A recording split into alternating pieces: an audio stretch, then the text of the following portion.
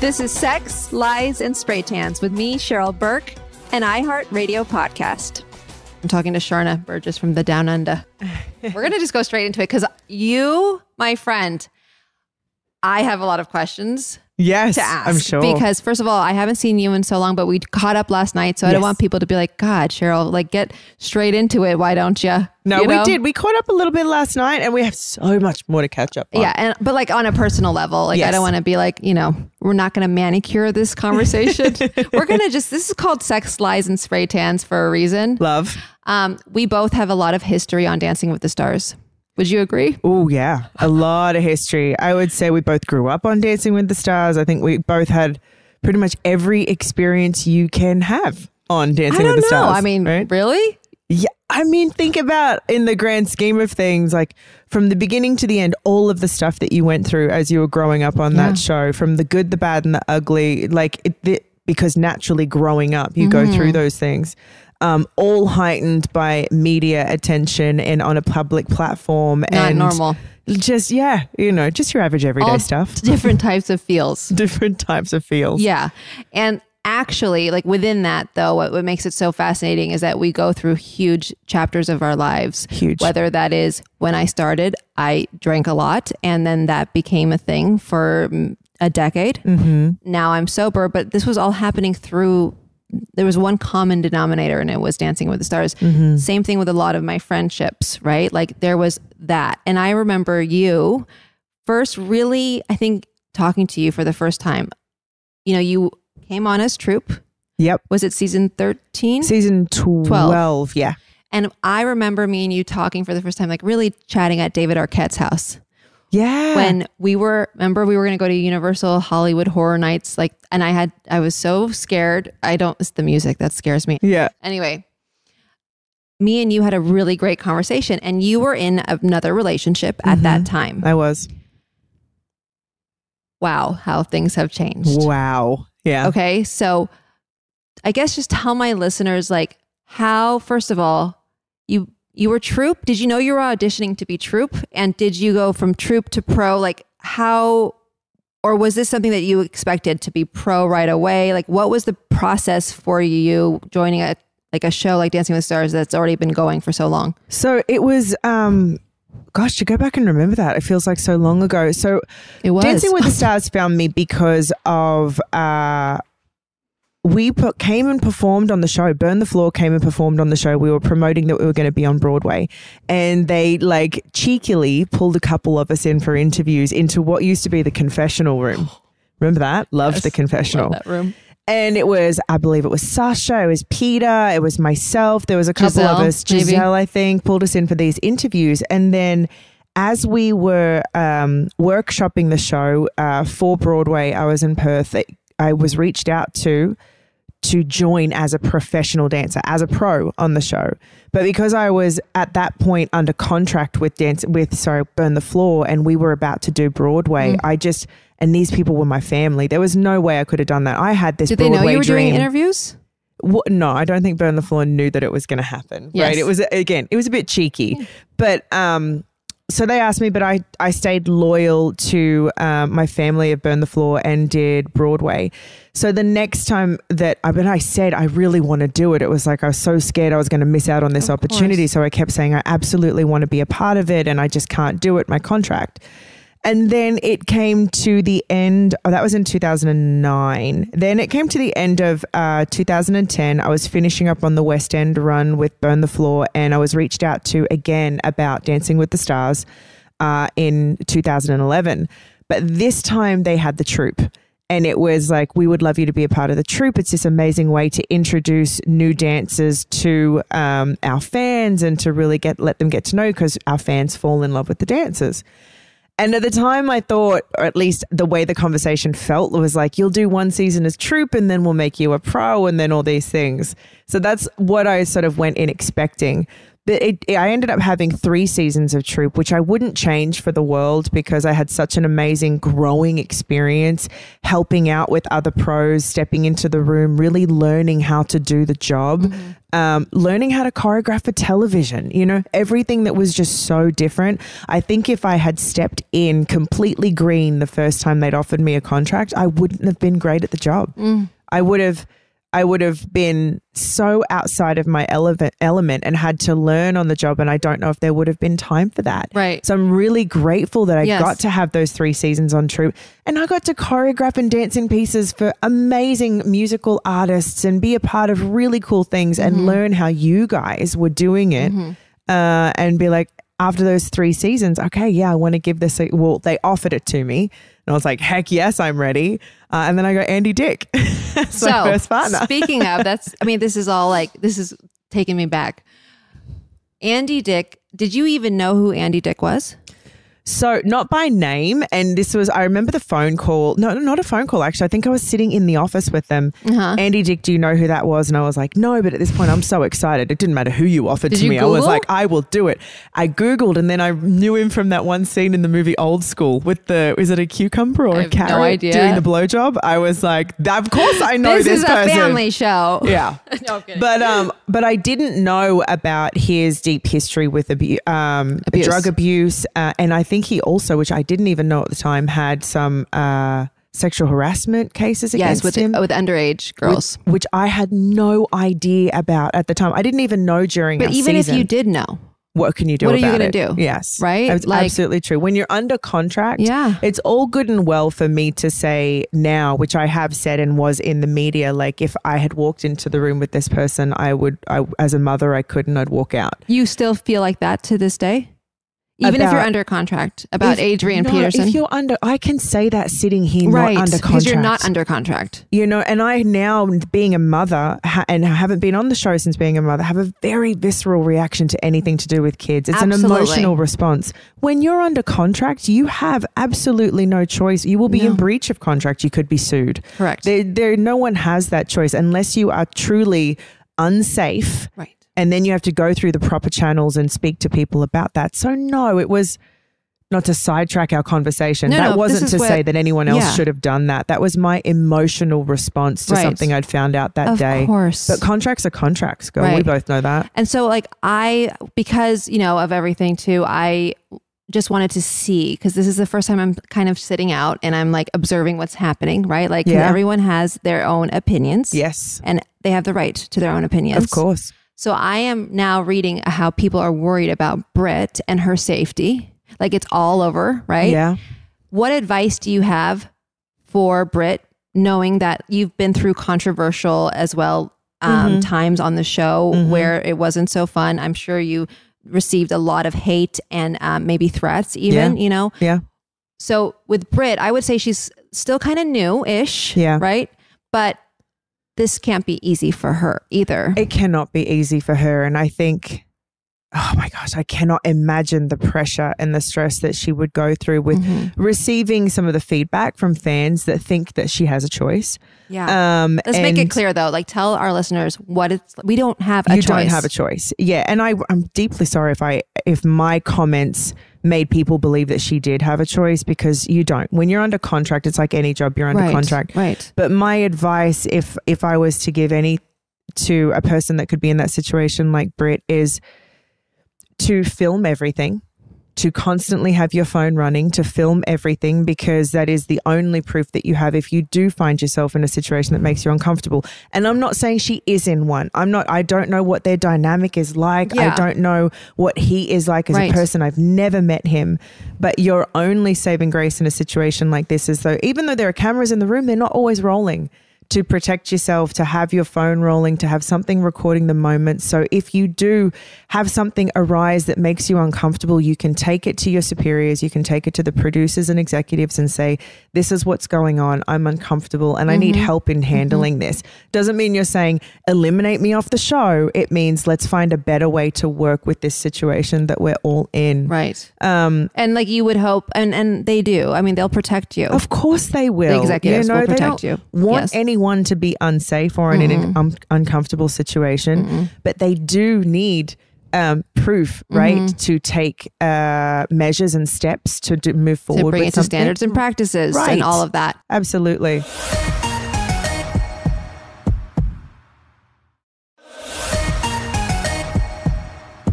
with dancing, I guess what people don't understand is not just a jazz hands, put on a freaking V-neck and shake the butt and don't stress. Like, why are you stressing? Like, it's stressful. It's stressful. The show is stressful. Super stressful. Like, in order for us to make it not look stressful, we have to stress out because, like, Yeah. in order for us to put a smile on our face with the glitter on, like, we have to know what we're doing Mm-hmm. Oh in God, and yeah. out, backwards and forwards, both versions of it.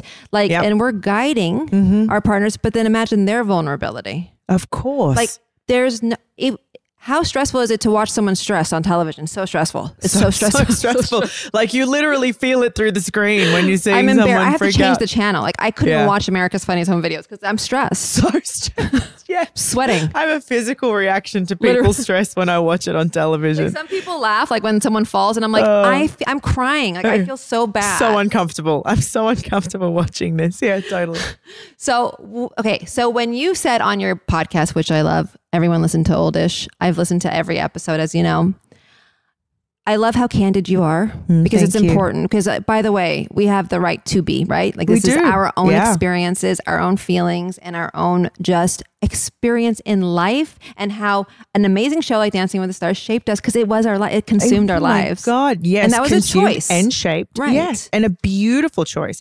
Wouldn't change it. Wouldn't want it to be any different. But it is a massive Consuming. chunk of our life. Seventeen years for you, babe. Right. And very formative years of your life too. And I feel like every partner, though it may have not all been like bells and whistles and flowers and peaches, there was a learning lesson of life for me to learn at that time. Absolutely. Whether it brought me more strength or confidence, or whether I just didn't like the, that version of me, right? Yeah. Totally. Now, when you ex- talked about on your podcast that there was a time when after Bobby, you you weren't asked back, Uh-huh. right? And then you came back, and then there was. um Would you like to just say it because I don't feel comfortable quoting you when you're sitting here next to me? And I, I had a situation with a partner where um, it got to the point where we couldn't be uh, alone in a Right. room without people watching and you know, unmonitored. Because this was also at a time when um, it was COVID and we didn't have everyone watching all the cameras all the time. It was Right. we were scaled back on our crew, so some rehearsals weren't watched and weren't so the recorded. p- producers were in a booth because of COVID. Yes. There was like robotic. no one was in the like, room with us. Yeah, they were Mhm. watching cameras with like little controllers to make them follow us around the room, and they would switch in and out of rooms, right? So they could try and catch pieces of everyone. Not like it used to be when we'd have a producer in there the whole time. That's Not different. like now because we have like- a different. We have Conrad back, Yes, our showrunner. Exactly. Yeah. and he's amazing. Yeah. Um, but yeah, that was a difficult situation for me. But I went through the proper channels and I did. Um, unfortunately, I wasn't able to record everything, but I Mhm. was able to record some things. And I did go to the proper people, and there was reports made, and I was um, taken care of. You know, and I'd I'd learned my lesson because I have in the past had two partners um, that made me feel very, very uncomfortable, uh, and it was I, at a time I was much younger and I would laugh it off and I would suck it up and I would make it okay. And I even told I told one person at the time, and this is this is going back years and years. This is pre Me Too, and it was a partner of mine that was making me feel very uncomfortable and was hitting on me and getting nothing back from me. Right, uh, and then he got a little pissed about that, and um, my uh, producer or coordinator at the time was like, "Oh, just let him think he can have it. You know what men are like." It was like, "Oh." Okay, and that was sort of like you go, "Mm, okay. So this, uh, I'm I'm on an island of one here. Like I feel like I'm on my own doing this. But what I didn't go to the people that I was supposed to go to. I told one person. You know what I mean? Um, and I learned And this my was lesson. years ago. Years, years, years, Yeah, years, yeah, years, years. before Me There is- Too. Let me reiterate. Before, Yeah. yeah, before guys. There's like I, I've grown and learned my lesson, and I am I'm not alone in this experience. When you get on a show like Dancing with the Stars, and it's men and women dancing together, and you have close contact, and you're creating all these stories and intentions. Wires can get crossed. You know what I mean? It's Yeah. I am I again not alone, but I learned over the years how to squash that and how to set up boundaries and how to make sure that wasn't going to happen again. And I understood, especially after, you know, during and after Me Too, of these examples of women coming forward and saying from the big to the little things. And I was like, holy shit, that happened to me. I didn't even realize that I could speak up about that. And so I learned. And so when I had a situation which was not sexual in any nature, why it was uncomfortable in that room, I would like to say that. But at too. the end of the day, though, it, no need to explain. it- right, no like need you to were justify. uncomfortable. Period. That's a complete sentence. Exactly. It is a complete sentence. Thank you, Cheryl. Um, but I did the right thing and I went to the right people and I Mm-hmm, spoke up and I was taken care of and I was able to do my job, you know, and, not I'm- live in shame. and not live in shame with it. And I was really proud of that. Yeah. Yes, or fear. And that this is why I just wanted to make this time for this because like it's every time someone does speak up, and by the way, it is so important because no matter what anyone says, everyone is in fear of losing their jobs. Absolutely, And, they are. and in, in general, I don't. And I'm not saying this by with about Dancing with the Stars. I'm just saying in the workplace, in workplace, the as a workplace, woman, in the world. Yes. I am so sorry. People are like, oh, get over it. Like, no, no, no, because it's it, it's a real, actual problem. yes. That when you speak up, you're the problem. You're the problem. Whether Absolutely. that's because you feel uncomfortable or you have an opinion or you're just putting in your two cents because you know why? Because I'm a human being and Yeah. I have there's freedom of speech, Yeah. right? Like I can say what I want to say Mm-hmm. with all due respect. Like anytime somebody decides to, I guess, not open up and not um, vocalize how uncomfortable they might feel, it's like that's what we're trying to at least we're trying to move away from that. We're tr- boom, trying to move away from that and not live in fear or be silenced because Absolutely. that's the thing yes. that is so um, it's heartbreaking because we're we're all in fear of losing jobs. We are absolutely, yeah. And it's it's a horrible feeling to have. Um, but I think it's for us, it's it's a uh, for women Yeah. very specifically. It's a muscle that we have to work out and practice. That advocating for ourselves, that speaking up and saying this makes me uncomfortable from the small things to the big things. Start with the small things. Get practice that muscle of Yeah. again advocating for yourself. We have to teach and people how yourself. to treat us Yes. You yeah. know? boundaries. boundaries teach people how to treat you and, and you know if you step into a space a workspace and you you you are able to find that um that way of communicating your boundaries Mm-hmm. Then you can move forward like that i think when you go in and you go in scared already and then you got to backtrack and change it it it feels really really hard to do Yeah. that but it's But you have to speak up for yourself. You You, have, have to like to. respect yourself before Yeah. you set boundaries Yeah. because there's no such thing, Yeah. right? Like, what are you setting if you hate yourself? right yeah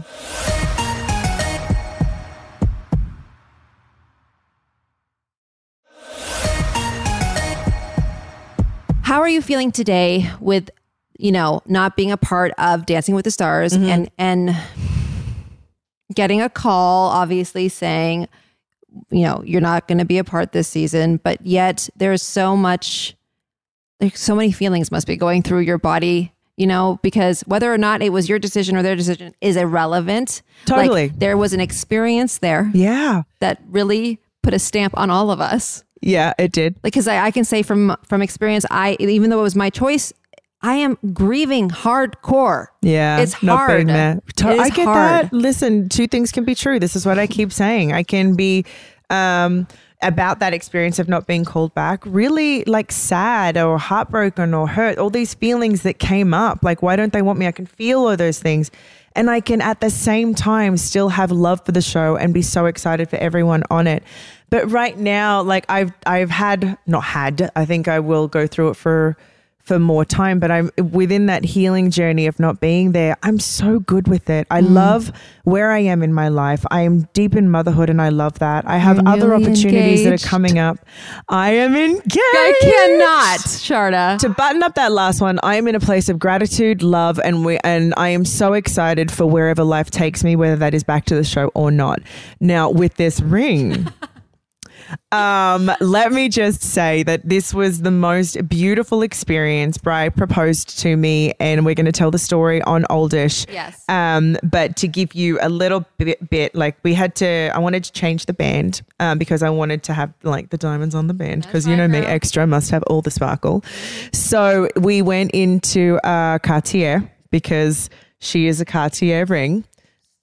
Uh-huh. And uh, I was had this like dream experience sitting in a room being showered with gifts and cakes and champagne Like Pretty and Woman? like Pretty Woman. They bring out all these rings and it was like that well and with Bry is like, "Well, baby, do you want to just, you know, you've never tried on engagement rings before. Do you want to see what some of the other ones look like and you make sure no this idea? is exactly what you love?" No, he'd already proposed to me.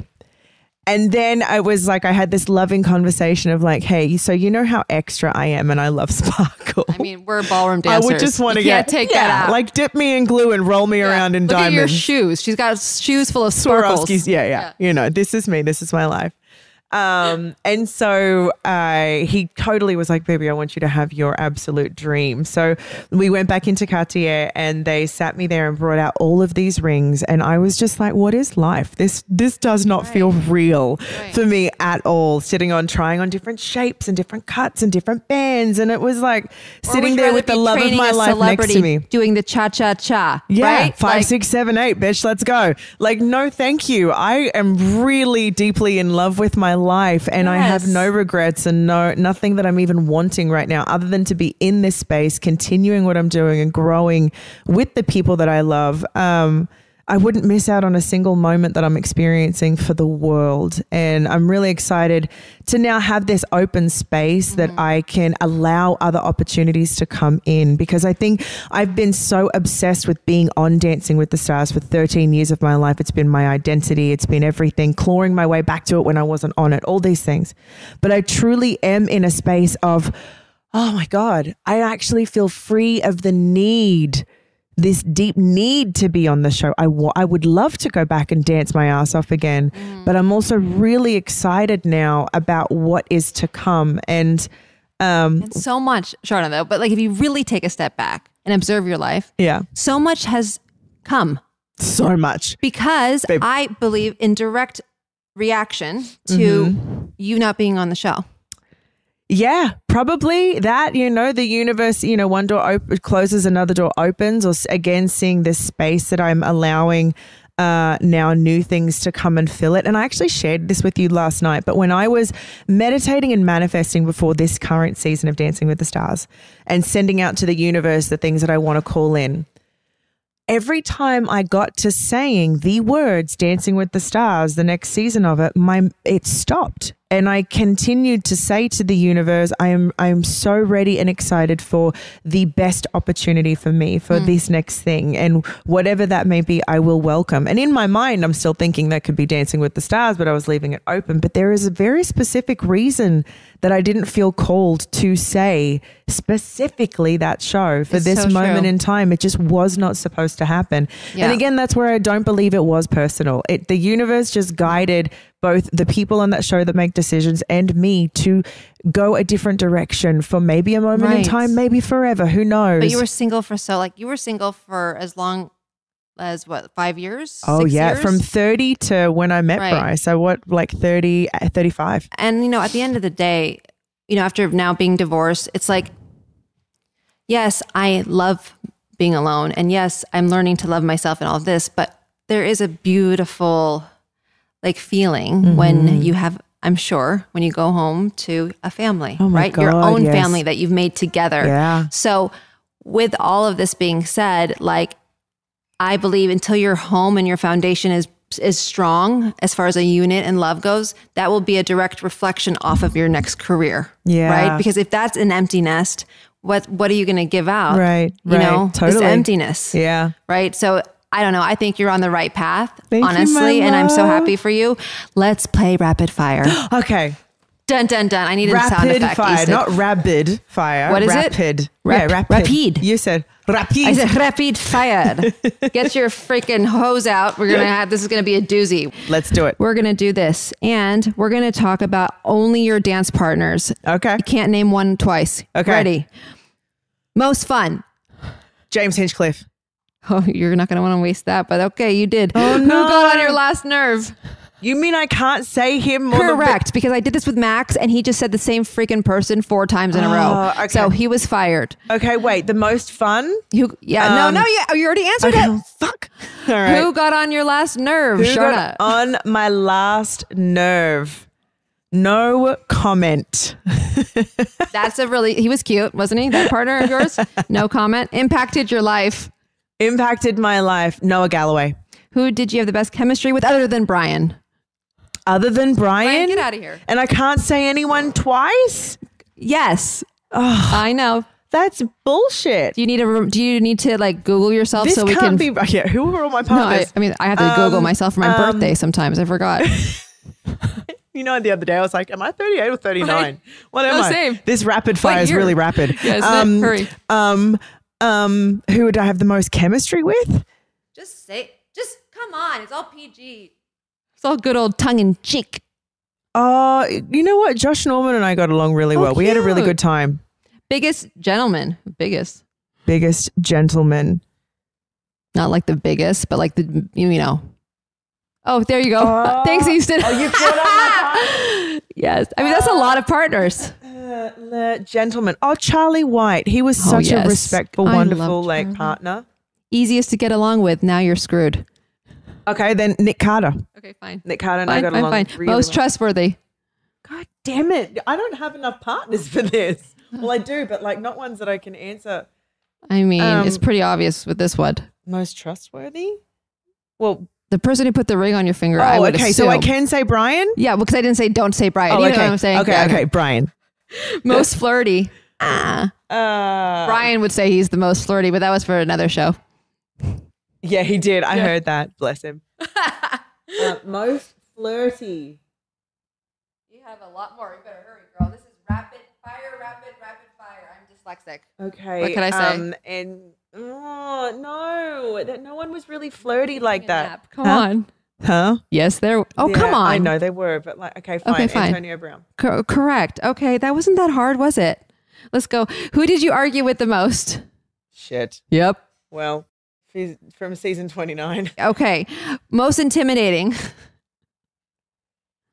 Probably. I know I can't say once twice, but Nick Carter. Like I had a full fangirl. moment. Really? Yeah, full like I do with your fiance. Yeah, you did. No, yeah. no, you don't understand. I only I love watched one hour of TV a week, and it was his show.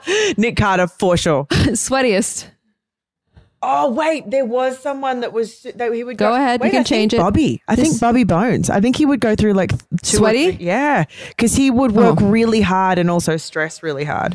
Who would you like to apologize to if you could go back in time?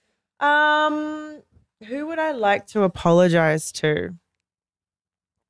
Probably not because I was a dick, but I actually think because Yourself. with uh, because I was so new to it. Yes, myself, so new to it. I think uh, Charlie White, had he have had the more experienced version of me that understood the show and understood the assignment better. Um, I could have taken him all the way to the final. He deserved Wait, to you be in were- that you would apologize him because of his of the result? because it, because I could have. I really think You're could have done better for yourself him. for the no no no no no. We're gonna pretend we didn't hear this, guys. With all the self work you've been doing, No, let's rephrase this. what do you mean? How? No, this is I, not your fault. not my fault at all. We did amazing work, but at the time, I, I was still very much about this is a dance. so you were like kind of like testy, is what no, you're saying. I d- wasn't mean to him. I just mean I didn't understand the assignment of like we have to create great packages and do all these things. I was just about creating great dance. Why are you looking at me like because that? no, Sharna, totally be to nice in to, the final. yourself. Laziest. That's your last one, girl. Rapid fire. Keyshawn Johnson. Okay. Yay. that wasn't really I'm sweating for you. That's amazing. But when you've had 75 partners, But yeah, I've only, what have I had? 12? 14. 14. I counted last night, cross-eyed, but um, literally cross-eyed. Thank you. I am happy for you. Thank you, babe. And I expect to be there at your wedding. Okay. Thanks. You shall be at my wedding. You absolutely must I don't need to be, be at in my it, wedding. but I need to be there. Okay. Thank you Yeah. very much. Everyone, please follow us at Sex Lies and Spray Tans or else anywhere you listen to podcasts. That's a threat. Goodbye.